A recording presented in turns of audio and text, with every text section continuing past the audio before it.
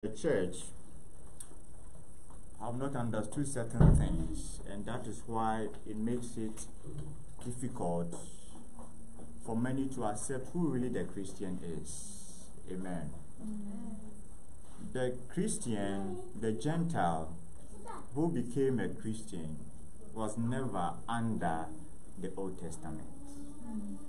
You have not been under the law. So for you, the Gentile is not a new testament or a new covenant for you. It is a new covenant for the Jew after the flesh. Because he had a covenant with Jehovah. So when he gives his life to Jesus and become part of the covenant that the master established in his blood, it becomes a new covenant. Because there was an old to him by you, the Christian who is a Gentile, who was part of the nations and became born again, is not a new covenant. It becomes the first covenant that you have become part of. Amen. So the Bible in Ephesians talking about the Gentile, the Bible says in Ephesians chapter 2 that they were estranged from the commonwealth of Israel. They were estranged from God's covenant of promise says that they were godless without God in the world. Amen. Now, Israel as a nation had a covenant with Jehovah, a blood covenant. And a blood covenant is the most binding of all covenants. Is the most binding of all covenants. Because the Bible says that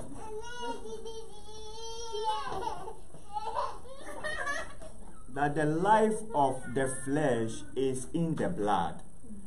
So a blood covenant is the strongest of all covenants. Now that covenant brings benefits. But when you break that covenant too, it brings havoc and destruction. So God made a covenant with Israel. So Israel was God's covenant partner. And because they were God's covenant partner, God had to protect them and defend them. So whenever Israel was in trouble, attacked by any enemies of theirs, Jehovah had to stand in for Israel. Because Jehovah had become their covenant partner. Amen. And every covenant has terms. For instance, there is a marriage covenant. And that marriage covenant has terms. So that covenant tells you what you can do, what you cannot do. And that is why when you, you marry a man, then the Bible says, let you know that that covenant means that your body belongs to him. And also his body belongs to you. When you infringe on that promise of the covenant, you are breaking that covenant. Right? So the same way to covenant has, it's like a contract and it has terms. Amen. If you obey your part of the covenant, your covenant partner ought to obey his part. But God obeyed his part of the covenant, but Israel didn't obey. Now, when God, because of that covenant, God will always attack the nations of the world for the sake of the Israelite. So when uh, any nations attack them, God will fight for them. Sometimes He will send angels even to uh, to battle on behalf of Israelite. He sent chariots of fire. Not because Israel were without sin, or the whole nation of Israel were righteous. And that's why God will tell them in Deuteronomy that you are as wicked as the other nations all the evil things that they do, you also you do some of these things. So I don't defend you because you are better than them. I am driving them out of the nation, out of the land because of the love that I have for you. Because you are my covenant people. Amen. But because they also broke the covenant that they had with Jehovah, they also have been one of the nation, uh, nations of this world who have suffered extremely throughout the history of creation. And this, all what I've said, is to bring you to a certain point. So let's go to Exodus chapter 19. Exodus chapter 19.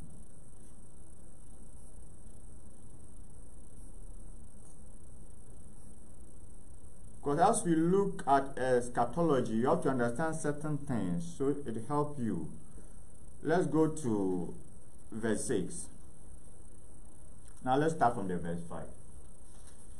So God through Moses told the Israelites, Now therefore, if you obey my voice indeed, and keep my covenant, then ye shall be a peculiar treasure unto me above all people for all the earth is mine. And ye shall be unto me a kingdom of priests and a holy nation. These are the words which thou shalt speak unto the children of Israel. So this one it was conditional. If dictates condition. So it says, if you obey my voice, God says that if you obey my voice and my commandments, you shall be unto me a kingdom of priests you shall be unto me a holy nation. This was God's what? Pact with them, but they failed. They couldn't obey. And because of that, that let's go to Romans chapter 9. So when Paul talks about the fact that the adoption pertained to Israel, the Israelite, that's what he was talking about. The adoption pertained to the nation of Israel. And it's very important for Christians to understand the gospel from this angle. And when you understand the gospel from this angle, then you understand why the Christian, your life is tied to Jerusalem. Amen. Because, and that's why Jesus said that to the Samaritan woman that salvation is of the Jews. Salvation is of the Jews. It says, who are Israelites to whom pertained the adoption and the glory? And the covenant. So the adoption and the glory pertain to Israel. God said, Obey my commandments and covenants, then you shall what? Be a kingdom of priests to me. He was talking about the Melchizedek order. Because the Melchizedek order is about kingdom of priests. So he says that if you want the order of Melchizedek to be established with you, then obey my what? My covenants. Amen. Now let's go to first epistle of Peter, chapter 2, verse 9.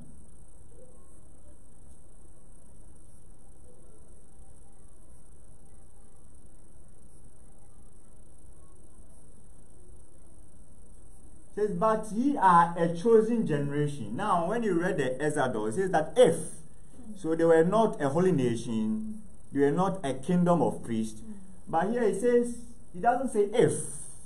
Talking about a Christian. It says, But ye are a chosen generation, a royal priesthood. That's a royal means king priest. You are what? He's talking about the Melchizedek order. He says that ye are a royal priesthood and holy nation, a peculiar people, that ye should shew forth the praises of him who had called you out of darkness into his marvelous light. So what they couldn't achieve through the law was fulfilled in Christ Jesus. Amen.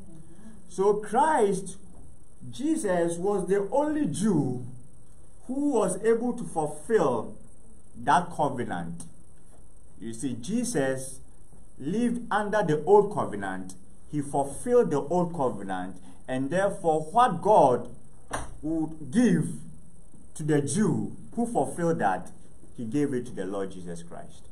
He gave it to Jesus. So Jesus, that's what Jesus called the son of David. Amen. So Jesus now established the Melchizedek order and he brought the rest of us in. And that's what Christianity is about. So Christianity is that you have been born again into the Melchizedek order. Amen. But this pertains to what? To the Jews after the flesh. They couldn't attain to it till the Messiah came. Now, because they broke the covenant of God, God said throughout the years, told his prophets to talk to them. So let's read the book of Jeremiah. chapter 25. Jeremiah chapter 25.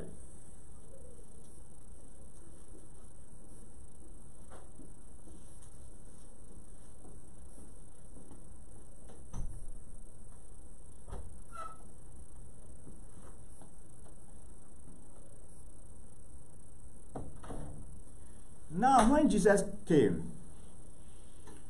Israel as a nation rejected the Messiah. So the master said to cried and said to Jerusalem, Jerusalem, ye that killed the prophets. Says, How I wish, how it was my desire to gather your children like a hen gather his chicks, but you will not allow me. In Matthew chapter 23, he talks about it. He says that because of this, your land is left to you desolate. Amen. So they rejected the Messiah. And because of that, it means that the desolation ought to continue. You understand that as we read this. Let's go, let's start from the verse 1. It says, The word that came to Jeremiah concerning all the people of Judah in the fourth year of Joachim, the son of Josiah, king of Judah. That was the first year of Nebuchadnezzar, king of Babylon. The which Jeremiah the prophet spake unto all the people of Judah and to all the inhabitants of Jerusalem, saying, From the thirtieth year of Josiah the son of Amon, king of Judah, even unto this day, that is the three and twenty-three years, the word of the Lord had come unto me, and I have spoken unto you, rising early and speaking, but ye have not hearkened. And the Lord has sent unto you all his servants, the prophets, rising early and sending them, but ye have not hearkened nor inclined your ear to hear. So the Hebrew writer says that God spoke to the fathers by the law and the prophets. Amen. So he spoke to them by the prophets. He says that sending them, but ye have not hearkened nor inclined your ear to hear. They said, Turn ye again now everyone from his evil way and from the evil of your doings and dwell in the land that the Lord had given unto you and to your fathers forever and ever. And go not after other gods to serve them and to worship them, and provoke me not to anger with the works of your hands, and I will do you no hurt. Yet ye have not hearkened unto me, said the Lord, that ye might provoke me to anger with the works of your hands to your own hurt. Therefore, that said the Lord of hosts, because you have not heard my words. Now, when you read Exodus chapter 19, it says that if you obey my commandments, if you obey my commandments, you shall be what? Kingdom of priests unto me. So here the Lord says, Therefore, that said the Lord of hosts, because ye have not heard my words, behold, I will send and take all the families of the north, said the Lord, and Nebuchadnezzar, the king of Babylon, my servant, and will bring them against this land and against the inhabitants thereof, and against all these nations round about, and will utterly destroy them, and make them an astonishment, and an hasten, and perpetual desolations. Moreover, I will take from them the voice of mirth, and the voice of gladness, the voice of the bridegroom, and the voice of the bride, the sound of the milestones, and the light of the candle. And this whole land shall be a desolation and an astonishment, and these nations shall serve the king of Babylon 70 years. So this was the prophecy through Isaiah, uh, Jeremiah. God says that because you have been disobedient to the pact, to the contract, you are going to what? Be in captivity for 70 years. Why would they be in captivity for 70 years? It's because because of the covenant, God had punished the nations for the sake of Israel. Amen. And Israel went to do the same thing that the nations were doing. Because when God was driving the nations, when, uh, for instance, God told Abraham that your children, your, your seed will be in captivity in Egypt. And after the four, in the fourth generation, I'll bring them out of Egypt. And God says that why? Because he says that the transgressions of the Amorites, the Amorites were the people who were inhabiting the land of Canaan at that time. Says that the transgression has not been completed. You see why? God let us know that God is a patient God. It's not that when you sin, then He strike you. So He gives you a period of mercy to change. And because they will not change, says that when their transgression becomes full in the fourth generation, I'll bring Israel out to what? To give them the land of the Amorites. These Amorites, why was God driving them out of the land? Because they are worshipping idols. They were in all kinds of evil, fornication, all kinds of, of moral decadence. So God says that I'm driving them out because of this wickedness. Now, Israel, who are God's people, now went about doing the same thing that the Gentile nations were doing. So then God had to be righteous. God is a judge, and a judge ought to be righteous. Because God is no respecter of persons. So if because you are my people, the reason why you became my people is because of the covenant, because of the pact. And because of that covenant, now I can stand on your behalf and fight the nations for you. And the stipulation of the covenant is that you should not what? Do the same things that the nations are doing. But now, after I have fought for you, after I have delivered you from the hands of your enemies, you went about doing the same thing that they were doing. Therefore, for God, the righteous God, to be just, then God also has to give you into captivity of, to, of that nation. And that's why God said that. And God says that that captivity, the desolations of Jerusalem will be for what? 70 years. Amen. Will be for 70 years. Now let's go to the book of Daniel, chapter 9. So, Jeremiah wrote this in the book. All the prophecies of those times, they'll write it in the book. So, the captivity happened as Jeremiah prophesied. And that is what brought Daniel into the land of Babylon.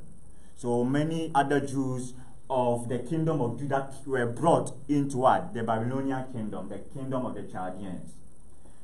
So the Bible says that in the first year of Darius the son of Ahasuerus, of the seed of the Medes, which was made king over the realm of the Chaldeans. Now at this time, the Nebuchadnezzar's kingdom has been overthrown by the kingdom of Persia. So the Bible says that, but still at that time, still the Jews were in what? In that kingdom. So say, in the first year of his reign, I, Daniel, understood by the books the number of the years whereof the word of the Lord came to what? Jeremiah the prophet. So Daniel went to read the book of Jeremiah, the prophecies of Jeremiah, that he would accomplish 70 years in the desolations of what? Of Jerusalem. So God has prophesied that I'll complete what 70 years in the desolations of Jerusalem. Now let's go to Luke chapter. We will come back here, but let's go to Luke chapter 21 from verse 20.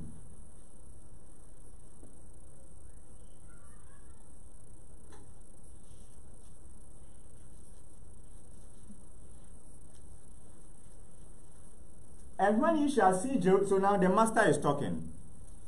Saying, when ye shall see Jerusalem compassed with armies, then know that the desolation thereof is nigh. Then let them which are in Judea flee to the mountains, and let them which are in the midst of it depart out, and let not them that are in the countries enter thereinto. For these be the days of vengeance, that all things which are written may be fulfilled. But woe unto them that are with child, and to them, see, that's why he calls it the days of vengeance. The days of vengeance. Vengeance of who? Vengeance of the nations. So it says that, but woe unto them that are with child, and to them that give suck in those days. For there shall be great distress in the land, and wrath upon these people and they shall fall by the edge of the sword, and shall be led away captive into all nations. And Jerusalem shall be trodden down of the Gentiles, until the times of the Gentiles be fulfilled. Says, until the times of the Gentiles be fulfilled. So this ought to happen till the time of the Gentiles be fulfilled. Then Jerusalem will come out of that desolation. Let's go back to the Jeremiah. Sorry, that we are in Daniel, right? Yeah, Daniel 9.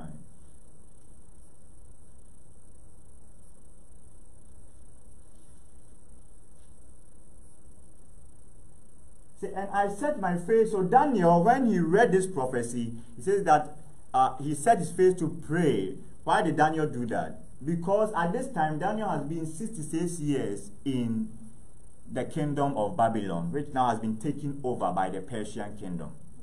So to Daniel, he took the years literally. You remember when you read Jeremiah chapter 25, it said that 70 years should be accomplished in the what? In the desolations. So Daniel know that ah, I'm 66 years now in captivity. So left what? Four years. So when he read the book of Jeremiah, he started praying because he knew that our deliverance is near. Amen. So the Bible said, and I said, Daniel said, and I set my face unto the Lord God to seek by prayer and supplications with fasting and sackcloth and ashes.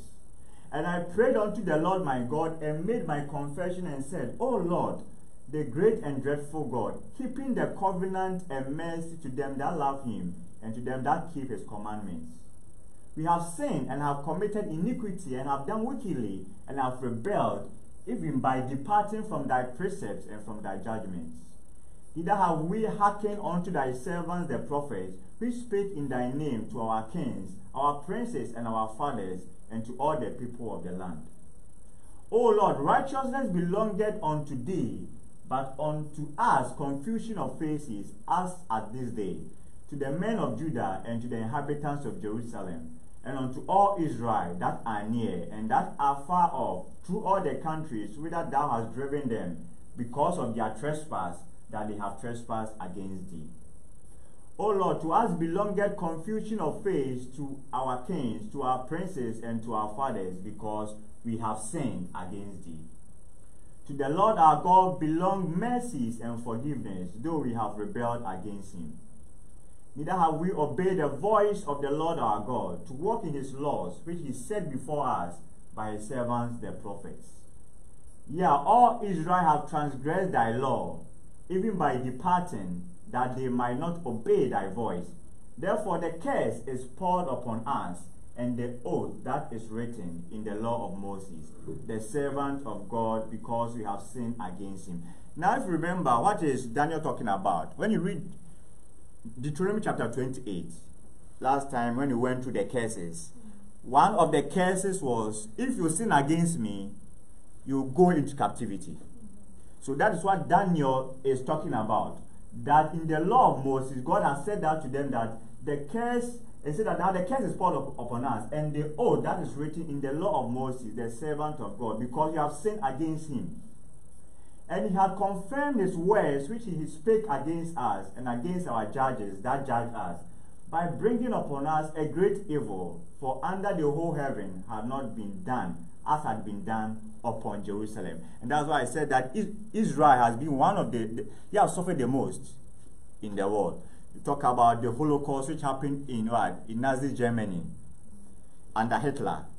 It's because of all this deviation from the covenant of God. It's because of that, because they disobeyed their part of the contract. See, as it is written in the law of Moses, all this evil is come upon us, yet made we not our prayer before the Lord our God, that we might turn from our iniquities and understand thy truth.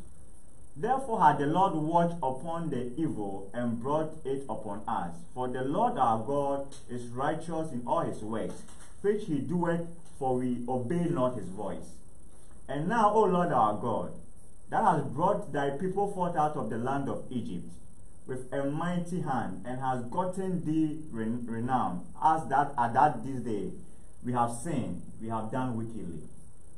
O Lord, according to all thy righteousness, I beseech thee, let thy anger and thy fury be turned away from thy city, Jerusalem, thy holy mountain. Now, one thing you also have to learn from this is that even though Daniel knew that it was a prophecy, he didn't say that I'm just sleeping for the prophecy to come to pass. In his mind, he knew that, oh, it's four years for, for, for the prophecy to come to what? To pass. But he was praying.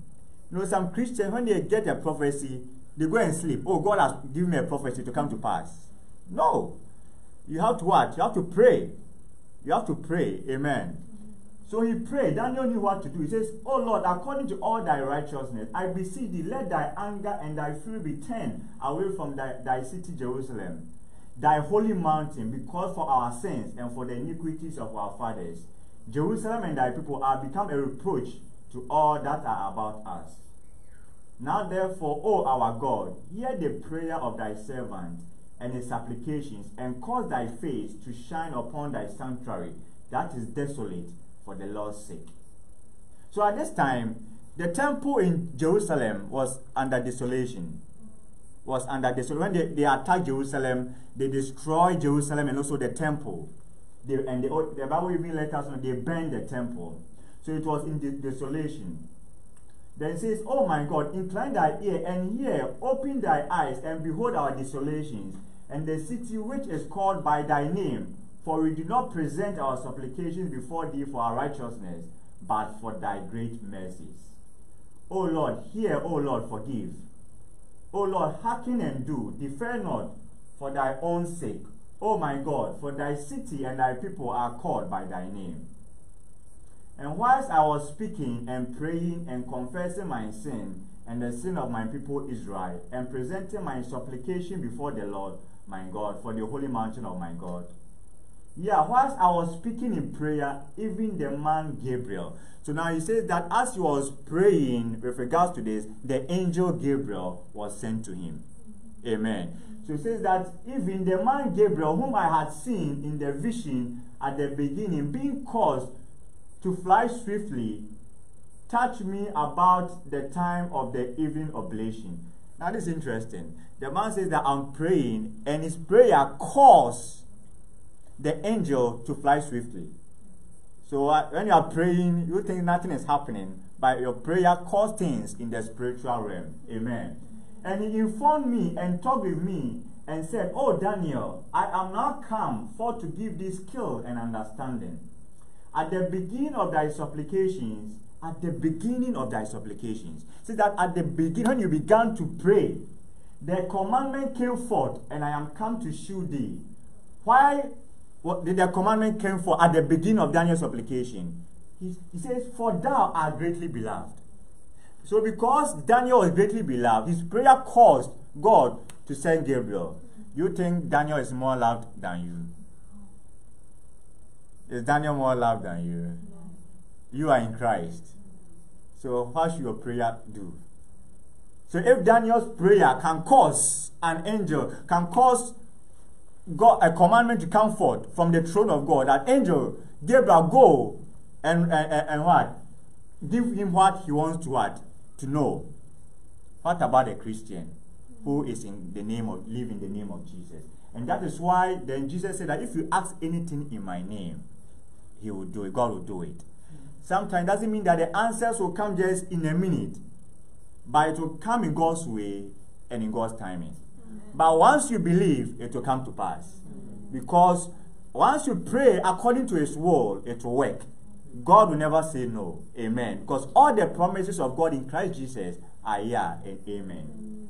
So he said, At the beginning of thy supplications, the commandment came forth, and I am come to shew thee, for thou art greatly beloved. Therefore, understand the matter and consider the vision. So now, at this time, Daniel thought that it was 70 literal years. 70 literal years. But the angel says, No. 70 weeks are determined upon thy people and upon thy holy city to finish the transgression and to make an end of sins and to make reconciliation for iniquity and to bring in everlasting righteousness and to seal, seal up the vision and prophecy and to anoint the most holy. To anoint the most holy means the Lord Jesus Christ, the kingdom of Jesus Christ being established in Jerusalem. So it says that 70 weeks are determined for all this to happen. And here he's talking about 70 weeks of years. So 70 weeks of years are what? Are determined from that time to what? Where the commandment went forth till the anointing of Jesus Christ is from being established in Jerusalem. Please, next verse says, Know therefore and understand that from the going forth of the commandment to restore and to build Jerusalem unto the Messiah, the Prince, shall be 70 weeks and 62 weeks. So now you multiply this 62 plus 7 gives us 79. Sorry, 69. Then you multiply it by what? By 7. Then gives you the number of years which what should span from when the commandment go forth for them to rebuild the, the temple in Jerusalem to the coming of the Messiah when Jesus Christ was crucified in Jerusalem. So now, if that becomes 69 weeks of years, but God prophesied to God's prophecy through Jeremiah was 70 weeks of years, meaning that one week of year is missing. Mm-hmm. One week of year is missing. So he says that, no, therefore, understand that from the going forth of the commandment to restore and to build Jerusalem unto the Messiah, the prince shall be seven, seven weeks and 62 weeks. And that is what? 69 weeks. But he said, Jeremiah's prophecy was what? 70 weeks. Meaning that one week was missing. That one week is what is about eschatology, the end time. So God took that one week from Daniel's day and put it at the end time. Me, and he said that in for the, the period of these 70 weeks of years, Jerusalem ought to be under desolations and attacks, attacks, continuous attacks from the nations. So when you, re- look at the history of Israel, they have been an, in captivity under many kingdoms.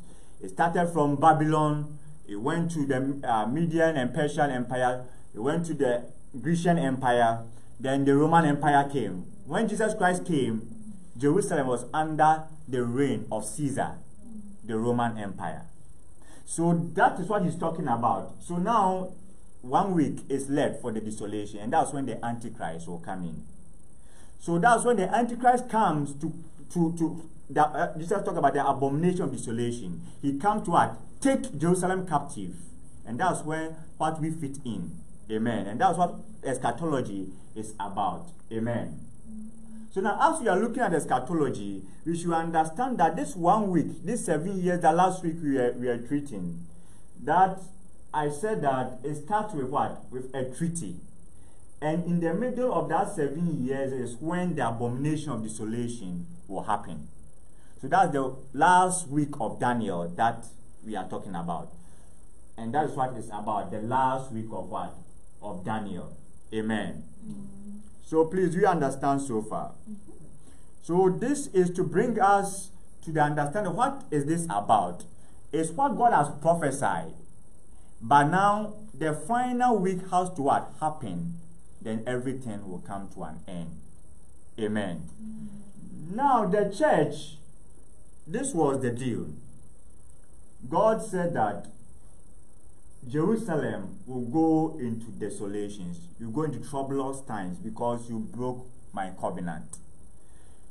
But Jesus Christ came and paid for all the sins that. Let's go to Galatians chapter 3. Because this captivity, this desolation is the curse of the law. When you read, he called it the curse of the law. Daniel called it the curse, which was in the law of what? Of Moses. So when you go to Galatians chapter 3,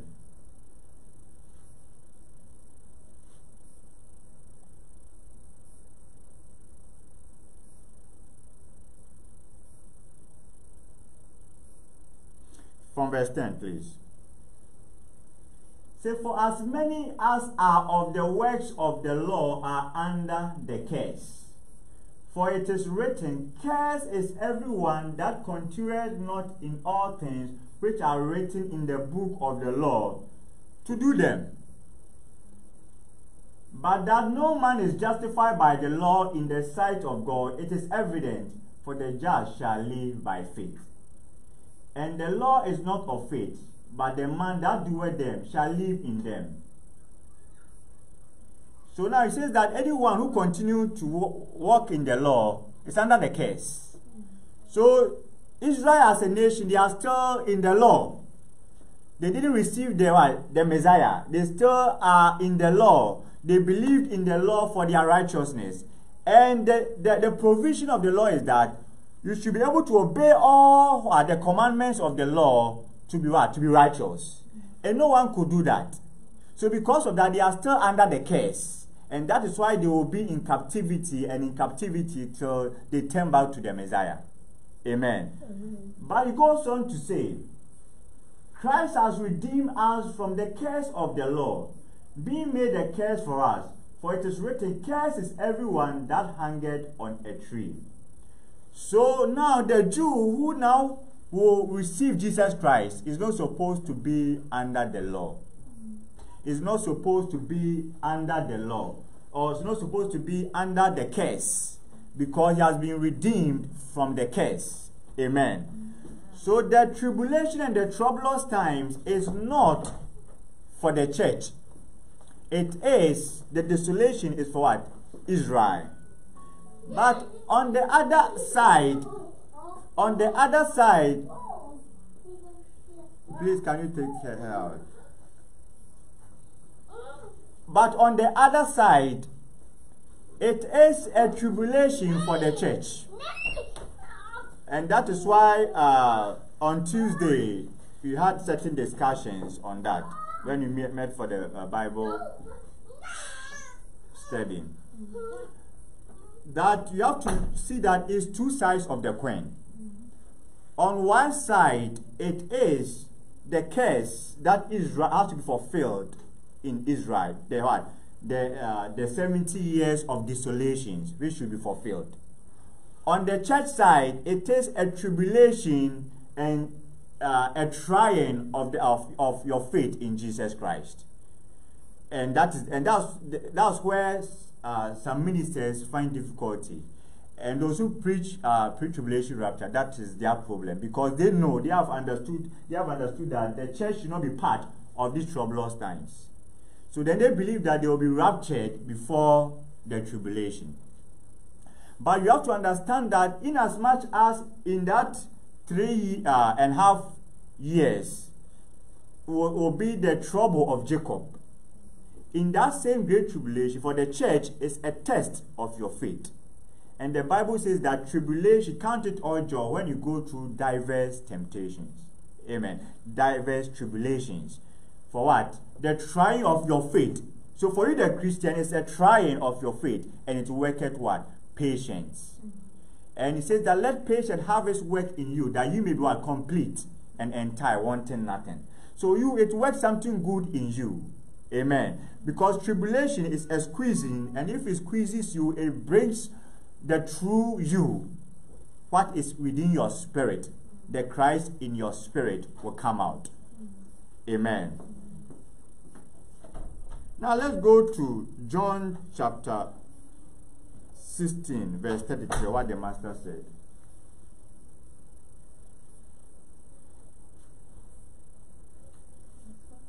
33.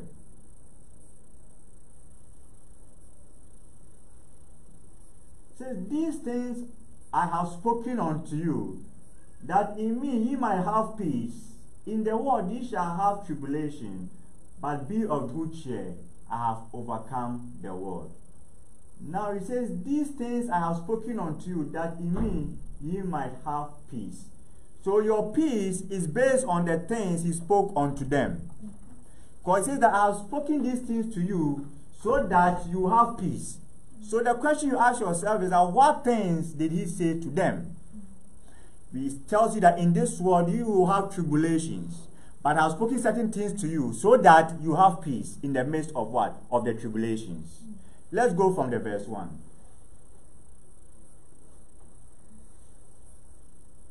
It says, These things have I spoken unto you, that you should not be offended. They shall put you out of the synagogues. Yeah, the time cometh that whosoever killeth you will think that he doeth God's service. And these things will they do unto you because they have not known their Father nor me. But these things have I told you that when the time shall come, you may remember that I told you of what? Of them. And these things I said unto you at the beginning because I was with you. So he tells you things so that when the time comes, you will not be offended. And because the church have not understood some of these things and they think that they'll be raptured before the tribulation, they'll be offended. But he says that I'm telling you that they are going to do these things to you. It's not me bringing the tribulation, it's the devil and the nations who will bring uh, troublous times to you. But when you see these things happening, remember that I told you that they will happen. So that you don't give up and say that, oh, the Lord has de- dejected us. And be- it's because of this understanding that the first century church, they went through a lot of tribulations. by the what? Like Paul says that it is appointed unto us to go to unto uh, in, to be in tribulation because they heard what the master told them, so they knew that it's part of what of the Christian walk. Even he told uh, Peter that you get a hundredfold of all the things that you lost, but with what? With persecutions. So he tells you all these things. And also, James tells us, count it all joy when you go to what? Diverse temptations and tribulations. So all these things is to let you know that it ought to come. It is part of the kingdom. The kingdom work. It is part. And that is what it is about. So first, we have to separate the two. That on the church side, it is tribulation to try your faith. Like uh, John says that here is the what? Is the patience and the faith of the saints. So it's a trying of your faith. Amen. And also tribulation worketh our character. So that is very important. But on the side of the Israelite, it is what? It is a curse. They are suffering. And that is why uh, the, the Antichrist will attack Jerusalem and not any other nation. The Bible says that he will attack Jerusalem. But then also he will persecute. Let's go to Revelation chapter 12.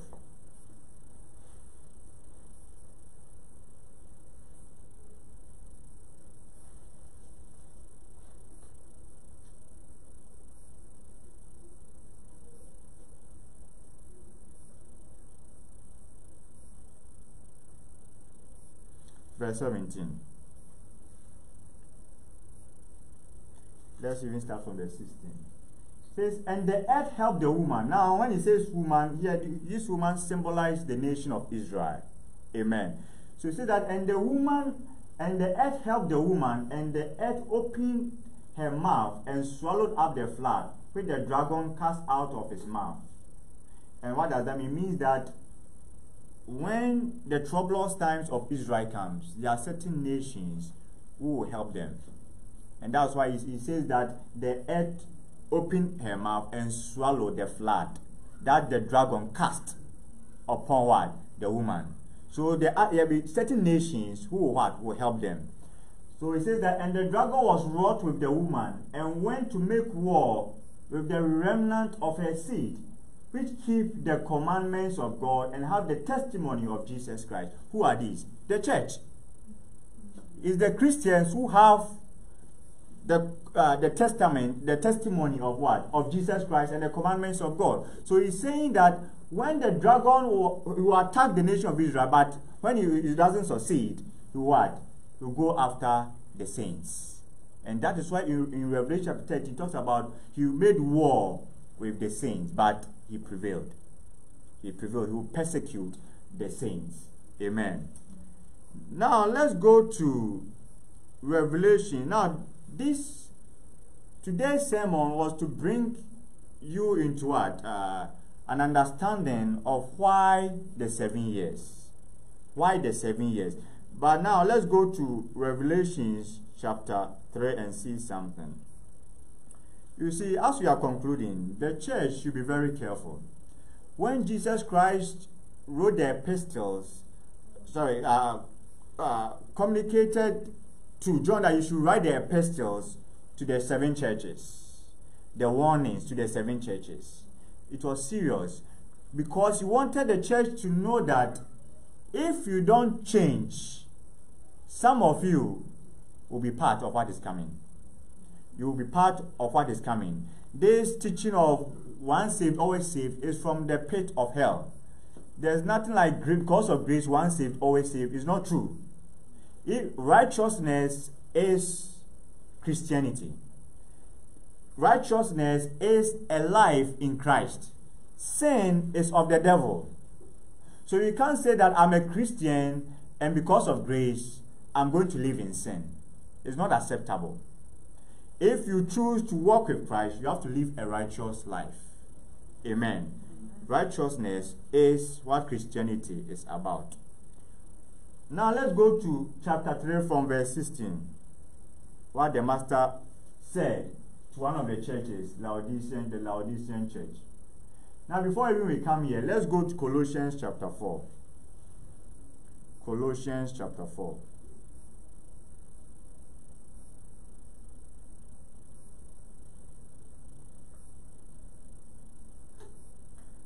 Verse 16. Now, this was an epistle that Paul wrote to the church at Colossae. He wrote to the church who were at, located at, in Colossae. Then what did he tell them at the end of his letter to them? He says, And when this epistle is read among you, cause that it be read also in the church of the Laodiceans. So this Laodicean church was a church was close to the church at Colossae. This the town of Colossae and, and Laodicea were very close.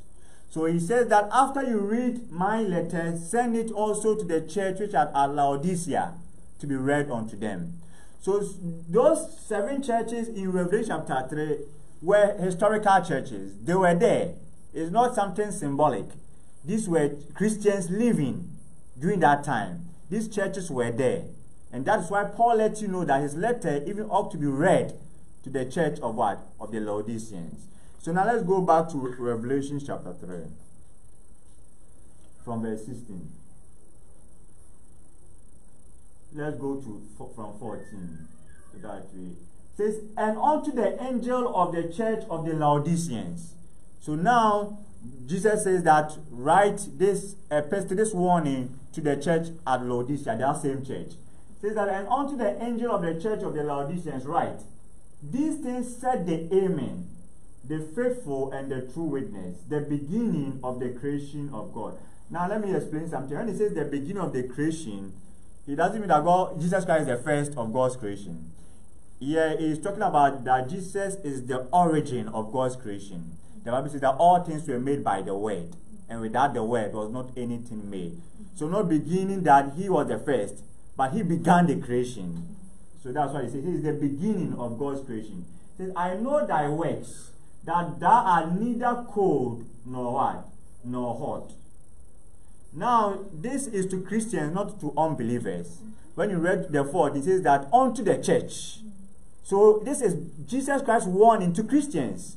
He says that I know thy works, that thou art neither cold nor hot. I would that thou were cold or hot. So then, because thou are lukewarm, you know, there are certain Christians in certain churches uh, when they see some people say, oh, these people, they are too spiritual. These people, they don't go to these spiritual folks. They are too spiritual. You people, are too, why can't you be lukewarm? You are too spiritual. You are too zealous for the things of God. Why are you so, uh, everything about you, Christianity, Christianity, every, why? They, they make such statements about some Christians. Those are the Christians that Jesus Christ is talking about. Those Christians who, who call other people lukewarm, uh, spiritual, and then they, they think that it can, it's good to be lukewarm. So he says that, so then, because thou art lukewarm and neither cold nor hot, I will vomit thee out of my mouth. Means he says you are disgusting. So he says you are disgusting, so I will vomit you out of my mouth. So to the Lord Jesus, if you are lukewarm, you are disgusting to him. So that uh, thinking, that thought that they have that, oh, if you are in the middle ground, it's acceptable. Jesus says it's not acceptable. He says that if you are not zealous and you are lukewarm, you are disgusting to me. So he says that be, because thou say, because thou says, I am rich and increase with goods, and have need of nothing, and knowest not that thou art wretched and miserable and poor and blind and naked. Please next verse. I counsel thee to buy of me gold tried in the fire that thou mayest be rich, and white raiment, and white raiment that thou mayest be clothed, and that the shame of thy nakedness do not appear, and anoint thy eyes with eye salve, that thou mayest see. As many as I love, I rebuke and chasten. What does it say to them? Be ye what? So why was were they disgusting to him? They were not zealous. So it means that the Lord Jesus, once you are a Christian and you are not zealous, you are disgusting. It doesn't matter what they have assumed in their churches about the grace message. That's just the words of the Master himself. He says that if you are not zealous and you just go lukewarm, you are disgusting. So he tells them, as many as I love, I rebuke and chasten. Be zealous, therefore, and repent. He says, if and it says that if you are not zealous, I'll do what? I'll spew you out of my mouth. I'll vomit you out. Because this is what he told them. He said that don't be lukewarm, I'll vomit you out. And then he tells them, be zealous. So if you are not zealous, he will vomit you out. You are disgusting to him. Please, next verse. Behold, I stand at the door and knock. If any man hear my voice, you see, many years ago, you go and preach to people and say to the people uh, in the world, Jesus stands at the door and knocking. It was after some years that I realized that that message was not to unbelievers, it was really to Christians, the churches. He says that, Behold, I stand at the door and knock. There are many churches, like today being Sunday, they are praising Jesus, but Jesus is not among them, he's at the door. But to them, they say, Oh, if two or three gather, there am I in your midst. That's not what he said. He said, If two or three gather in my name, there am I there. In my name. In his gathering his name does not mean mentioning his name. It means that your gathering should be guarded by his character and authority. Is he the one in authority dictating things, how you do things in the church? He says, if I'm not the one detecting things, I'm at the door. I'm not in. So there are many churches who think that Jesus, like for instance, many churches in this land, last year, the Lord was ministering to me, as I, I said some time ago, that He has left most of them, many of the churches in this land of Sweden. So they meet, and they think that He's there, He's not there. He has not rejected his, the children, the church. I'm talking about the church as a church, not the people. But as a church, he has left them. Why? Because he's still at the door. He's, still, not in their midst. So they go, they, they play drums, piano, singing. They think that, oh, we are singing and they are even crying. It doesn't mean he's there. It's not about you crying or singing. It tells you that if you meet, you meet in my name, means that I dictate things. Because I'm the boss of the church. So is it my laws, my principles that is guiding your worship, your way of life, your way of faith? Is it what I told you to do that you are doing it? That's what it means to gather in his name. Like Colossians chapter 3, verse 17 says that whatsoever you do in word or in deed, do all in the name of Jesus. So if your Christian walk is not guarded by the provisions of the gospel, he's not there. So he's telling the church, you know, he's telling the church, he says, Laodicean church, I'm still at the door knocking. If any man hear my voice and open the door, I will come in. I'm not there because you gathered in my name and you mentioned my name. I'm only there if you are doing the right thing. If you are doing the right thing. So he says that, Behold, I stand at the door and knock. If any man hear my voice and open the door, I will come in into him and will sup with him and he with me. So Jesus is not just there because you call his name have you welcomed him into your home? Have you welcomed him into your life? You see, he is there positionally, but is he there vitally? That he is in you because you are the Spirit of Christ in you as a Christian. But there's one thing he being you and also experiencing the tangibility of the Lord. And that's why many churches they don't experience the tangibility of the Lord because he is not there vitally. He's not there. He's still knocking. And why was he knocking? Now he didn't say this to other the other churches. For this church, they were lukewarm. So as long as you are not passionate about the purpose, why is the church? Why the church? And the church has become a common place. You come to church on Sunday, then you go you go home. Sunday you go home. Sunday you go home. That's all what church is about. Church is about gathering on Sundays and, and going home. You don't have to understood what really the church is supposed to do in this world for the Lord. The Bible says that when, let's go to Psalm 102, verse 16. So, till the church understands the reason why they are on this earth and be zealous about the work that the master gave to the church to do, he says that I'm still knocking. But he says that the ones that I love, I, I correct and chastise. So he says, because I love you, repent and I will what? Accept. All you have to do, you may be even hearing this message online, or you are maybe here. All you have to do is you, you repent. He says, Father, I'm sorry. From today I'll be zealous about your works. Amen. Says, When the Lord shall build up Zion, he shall appear in his glory. When the Lord did he say when Sister Charity will finish the nursing school, I will come in my glory. When Sister Bertha will finish the masters, I will come in my glory. Please, that's what he said. He said, when Sister Sylvia, you return back to Uganda, I will come in my glory. Did he say, oh, when you have five children, I'll, then I'll come back in my glory? Did he say, when you are CEO, then I'll come back in my glory? No. When the Lord shall build up Zion, he shall appear in his glory.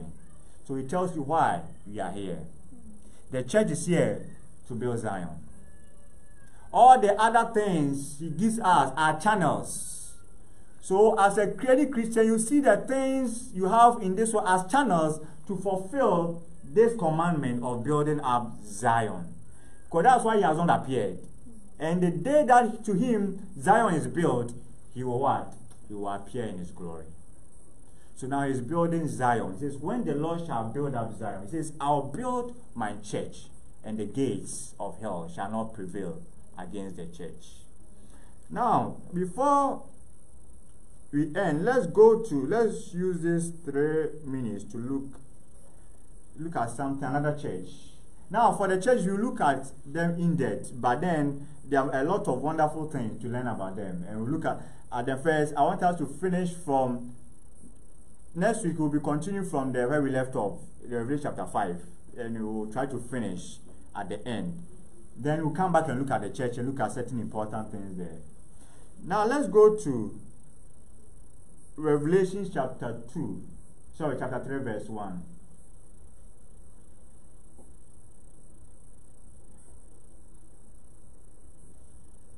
Now this was another church, Sardis. Says, and unto the angel of the church in Sardis, write, these things said he that had the seven spirits of God and the seven stars. I know thy works, that thou hast a name. Now, please let us listen. When the Lord is speaking, you have to listen to every word he says. It's very important. He says that I know thy works, that thou hast a name that thou art livest, but and are dead. What is he saying? There are many Christians and churches who they have a name that they are living, but they are dead. There are pastors who have a name that they are living, but they are dead. There are all kinds of people, they have a name that they are living, but they are dead. Jesus says, I know your works. You have a name. Outwardly, people think that you are living, but to me, you are dead. These are the Christians who pretend. They pretend with what? The work of faith he talks about, oh, when he meets the congregation, he talks about faith. Back home, he or she is crying. When he meets the he talks about love, but yet still he's full of bitterness against people. He says, You have a name, but you are dead. That's what he's saying. They have a name that they live, but are dead. What, what's the master saying? He says that let your Christianity be in truth. Let your Christianity be in truth. Amen. That is, be what you are that people see. Secretly and openly. Be the same person. Says that thou hast a name that thou livest and are dead. Please, next verse. Be watchful and strengthen the things which remain. you see, what is he saying? There are certain things he let us know that a Christian, you can, there are certain things that you can go to a certain level, and because of that, Jesus will say, No way again. No way again. That is, you see, in the spirit realm, there are doors. There are doors. He says that he's the one who has the keys to the doors. For instance, to the Philadelphia church, he says that I open, I have the keys of David. I open and no one can shut. When I shut, no one can open. So there are certain Christians that they will live certain life in certain areas, and the Lord can shut certain doors in their life. It means that those ones they are dead. So those ones there's no coming back again. So that's why, and this is the kind of church you're, Christian you're talking about, the Sardis church. Says that be watchful and strengthen the things which remain that are ready to die. For I have not found thy works perfect before God. So he said that certain things remain. Make sure you strengthen them. The, those which are dead, they are dead. They cannot be what? Rescued again. So he said that, but then be careful that you strengthen those which remain. Amen. Remember therefore how thou hast received and heard, and hold fast, and repent. Meaning that this church, his message came to them, but they didn't take it serious. But he says that, remember therefore how thou hast received and heard, and hold fast, and repent. If therefore thou shalt not watch, I will come on thee as a thief, and thou shalt not know what hour I will come upon thee. So I just picked these two churches to help us know that Christianity is not about living anyhow. Like many have portrayed to many Christians. That's not what Christianity is about. It doesn't mean that when you just sin, then God will cut you out. No. There's forgiveness in Christ Jesus. There's room for repentance in Christ Jesus. God's grace is so abundant but if God tells you repent, repent, and repent, the person is not repenting, a time will come. Let's go to uh, Proverbs chapter 29.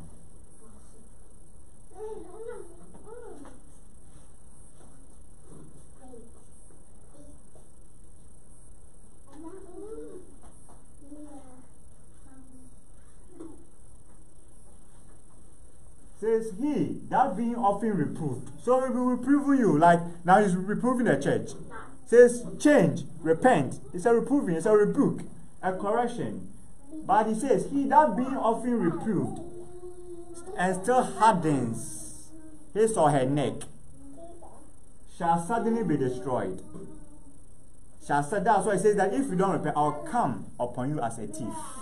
Suddenly. So you shall suddenly be destroyed, and that without remedy. So he's a God of love, and he will bring his warning because he that I love, I correct. But if the Christian goes on hardening the neck, hardening the neck, it comes to a point that he says, enough is enough. That part of grace too should be taught. So they don't teach that angle of grace too. It's not all about Go and do anything you want. Go and do anything you want. He loves you. He will forgive you. He said that if you confess your sins, He's faithful and just to forgive you. But if such people, they don't. Some people don't who don't repent over time and they continue wallowing in sin. It comes to a point that says that I will come upon you suddenly, and you shall be destroyed without remedy. So today, as you have heard the word of the Lord, you may be here we are going to pray. We are will be here. And you want to say, Father, I want a restoration in my life. I want to make things anew in my life. You can come forward and I'll pray with you. You can come forward and I'll pray with you. If you want a restoration in your life, you will know that you are working in a way which really doesn't glorify the Lord. But you want to make what? Uh, a change